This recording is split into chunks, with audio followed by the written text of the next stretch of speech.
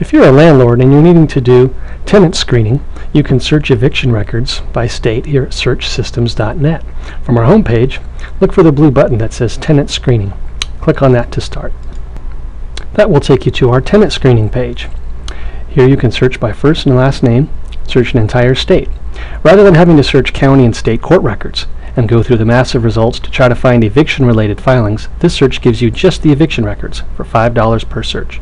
You can also search by a business name to look for a business tenant to see if they have any evictions on the record.